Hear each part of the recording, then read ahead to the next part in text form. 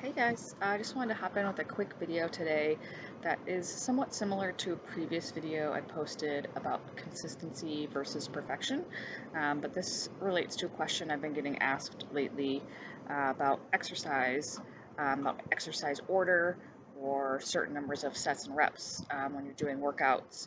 And I think it also kind of carries over into nutrition where I will often get asked questions about nutrient timing or meal timing or maybe eating a certain food versus another.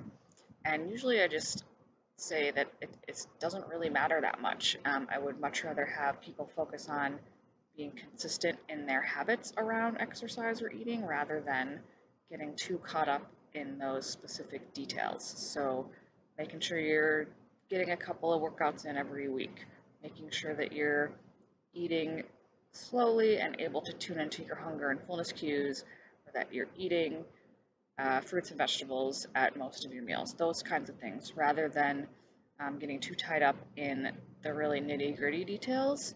Um, if you were maybe an athlete training for an event, then some of those things might come into play, be a little more important. But focusing first on those things that you can do consistently over time that really fit into your daily routine, uh, and making sure that you're able to do those things on a regular basis think that is much more important thing to focus on than getting too bogged down in more of those detail-oriented pieces.